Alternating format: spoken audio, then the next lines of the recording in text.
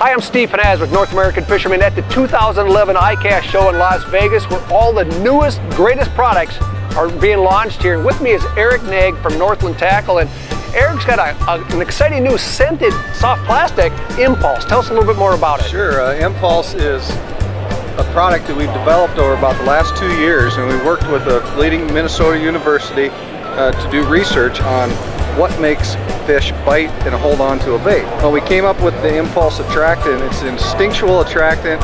When the fish gets a hold of it, his mouth clamps shut, he eats it, and it, helps you catch more fish. Wow, and uh, this is available in bass models and panfish models, walleye models. Tell us a little bit more about the number of models that's available. Certainly.